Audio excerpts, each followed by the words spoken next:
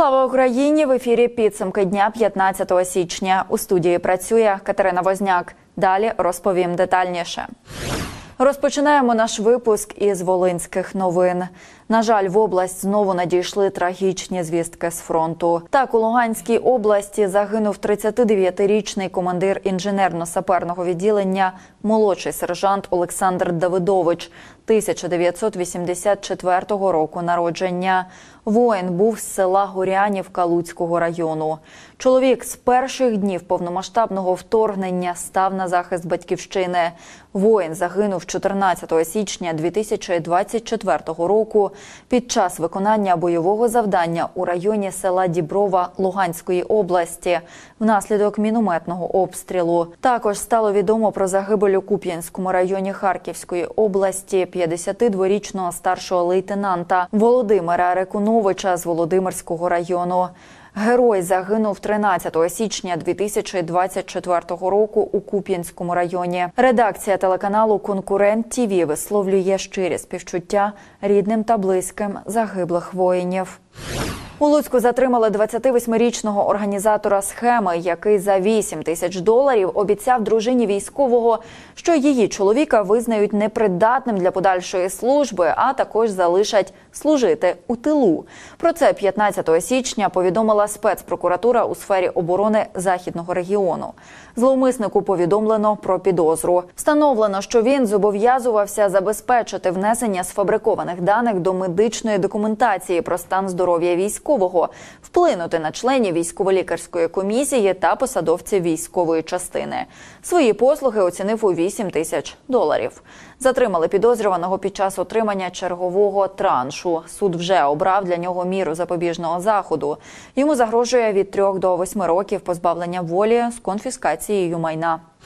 У селі Стара Гута Ковальського району сталася трагедія. Ввечері 14 січня на Волині батько знайшов сина з ножем у серці. Як повідомила телеканалу Конкурент ТІВІ, старша інспекторка сектору відділу комунікації поліції у Волинській області Марина Балдич, трагедія сталася близько 21 години вечора. До поліції надійшло повідомлення про виявлення 23-річного е, хлопця з колотою раною в області серця. Під час надання медичної допомоги молодик помер. Е, Як з'ясувалося тілесні ушкодження, він наніс собі сам. Тіло скерували на судово медичну експертизу. Марина Балдич зазначила, що відомості щодо цієї трагедії слідчі внесли до ЄРДР за статтею 115 з приміткою самогубство. 12 січня на електронну адресу одного із навчальних закладів у Луцьку надійшло повідомлення про те, що у приміщенні закладені бомби. На місце події відразу виїхали співробітники вибухотехнічного відділу області, слідчо-оперативна група поліції, кінологічна служба, працівники кіберполіції. Однак, за інформацією поліції Волині, жодних вибухонебезпечних предметів чи вибухових речовин виявлено не було. Також проводилася евакуація. Згодом правоохоронці встановили зловмисників, причетних до вчинення кримінального правопорушення. Ними виявились троє учнів вказаного ж закладу. Двом з них 13, а третьому 14 років. Батьків учнів притягнуть до адміністративної відповідальності. 38-річний волинянин збував незаконну зброю. Як повідомили у поліції, у листопаді минулого року поліцейські отримали оперативну інформацію, що мешканець Горохівщини займався збутом вогнепальної зброї на території Волинської області.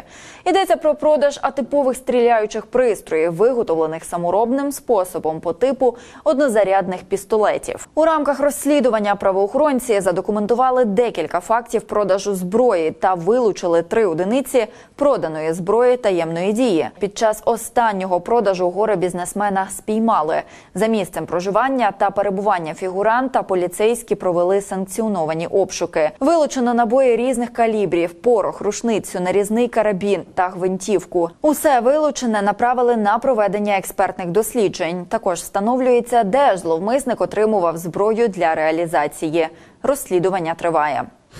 Переходимо до блоку всеукраїнських новин. Окупанти продовжують нещадно обстрілювати Україну.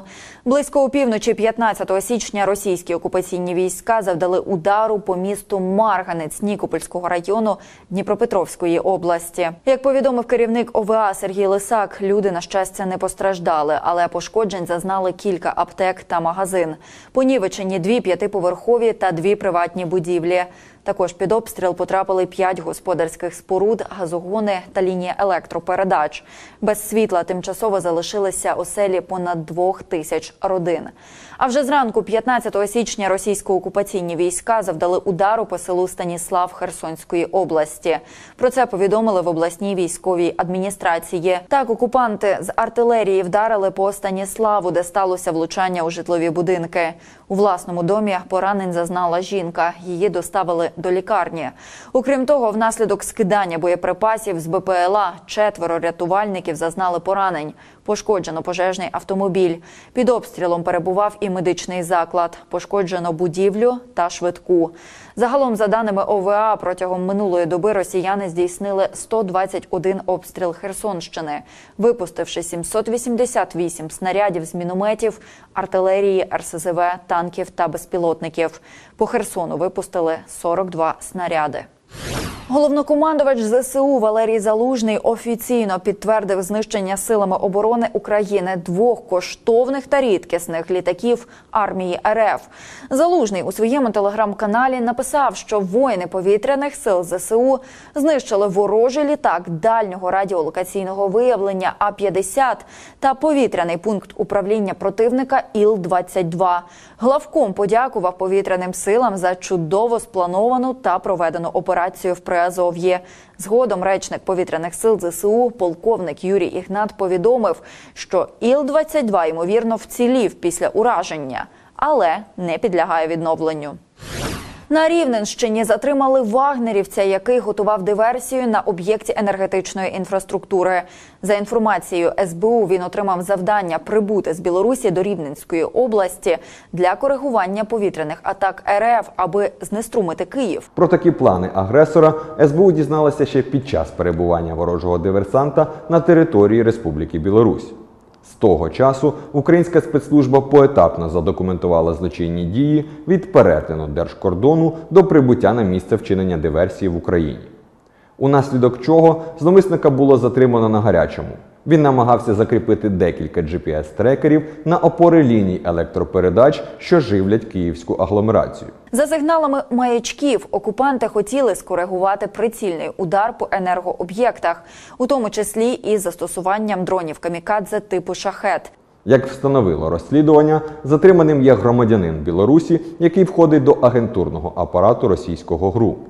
З 2014 по 2017 роки іноземець перебував у складі терористичних угруповань ЛДНР і брав участь у бойових діях проти сил АТО на сході України. На початку повномасштабного вторгнення РФ бойовик вступив до російської ПВК Вагнер, у лавах якої штурмував Бахмут та прилеглі селища. Згодом він повернувся до Білорусі, де отримав завдання від свого куратора з воєнної розвідки РФ щодо підготовки диверсії на прикордонній території України. На підставі зібраних доказів слідчі СБУ планують повідомити затриманому про підозру за двома статтями Кримінального кодексу України: диверсія та участь у терористичній групі чи організації. У Білоцерківському районі Київщини 18-річний батько завдав смертельного удару двомісячній доньці через те, що вона плакала. Як з'ясували правоохоронці, молодий батько залишився вдома зі своєю дочкою. Однак, коли дівчина почала вередувати, це його роздратувало. Аби так би мовити, заспокоїти дитину, чоловік підійшов до її візочка та вдарив дитину по голові. Пізніше маля перестало подавати ознаки життя. Там зазначають, що коли на місце події приїхали медики та правоохоронці, горе батько намагався ввести слідство в оману, звинувативши у смерті дитини медиків, які напередодні лікували її від запалення легень. Судово-медична експертиза підтвердила, що смерть дівчинки настала внаслідок закритої черепно-мозкової травми, кажуть правоохоронці. Відтак хлопцю загрожує до 10 років позбавлення волі. Президент України Володимир Зеленський прибув з робочим візитом до Швейцарії. У плані візиту зустріч з лідерами країни та участь у Давоському форумі. Про це глава держави написав на своїй сторінці у соцмережі. У Берні проведу переговори з головами обох палат парламенту, керівниками партій і фракцій, пані президенткою Віолою Амхерт. Подякую за принципову підтримку суверенітету і територіальної цілісності України. Вірю, що участь в Швейцарії у формулі миру та її відповідний досвід допоможуть наблизити справедливий мир на основі нашого бачення, наголосив Володимир Зеленський. За його словами, мова буде йти про повернення викрадених російськими окупантами дітей, вступ до ЄС та НАТО, санкції та пошук механізмів для використання заморожених російських активів, співпрацю щодо гуманітарного розмінування, фінансової підтримки та, звісно, відбудови України. І до загальносвітових новин на Росії у місті Баймак, Республіка Башкортостан, тисячі людей вийшли на протест, утворивши одну із найбільших акцій протягом усього періоду повномасштабної війни. Як повідомляють у телеграм-каналах, за різними оцінками аж до 15 тисяч учасників взяли участь у мирній акції, яка відбулась на підтримку активіста Фаїлія Алсинова. На прохання глави республіки йому висунули звинувачення у розпалюванні міжнаціональної ворожнечі. У його висловлюваннях нібито була негативна оцінка не лише росіян, а й жителів Кавказу, Середньої Азії та вірменів. Крім вимоги звільнити Алсинова, тисячі протестувальників також вимагають відставки глави Башкирії Радія Хабірова, якого Путін призначив керівником регіону. Як зазначають змі, Фаїль Алсинов є одним із найвідоміших тамтешніх громадських діячів. Він брав участь у протестах за збереження гори Куштау і очолював організацію Башкорт, яка виступала за суверенітет Башкортостану. Білоруських військових відправили до РФ переймати досвід окупантів у війні проти України. Міноборони Білорусі оприлюднило ролик та повідомило, що їх вояки відправляються до РФ на військові навчання. Там цинічно зазначили, що акцент в ході занять буде зроблено на досвіді, набутому армією Росії під час проведення так званої СВО в Україні. Після чого білоруські військові, як інструктори, передаватимуть отриманий досвід іншим підрозділам збройних сил РБ. А на Росії стабільна побєда в так званій СВО. Кремль стверджує, що немає інформації про те, щоб якісь російські літаки були збиті українськими силами. Про це заявив прес-секретар президента Росії Дмитро Пісков, коментуючи інформацію про збиті військові літаки А 50 та Іл 22 ні, інформації немає. Потім все таки ця тема, яка стосується ходу спеціальної воєнної операції, сказав Пісков.